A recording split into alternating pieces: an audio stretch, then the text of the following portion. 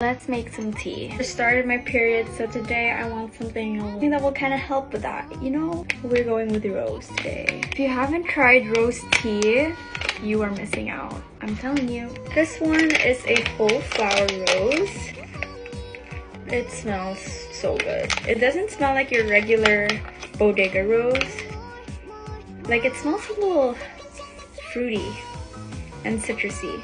I don't know how to explain it, you just have to try it for yourself. Mm. And you just put one in your cup and take boiling hot water and pour it in there. Wait a few minutes and then it turns into this. It's so pretty. Like, hello. We're drinking flowers this year. Cheers.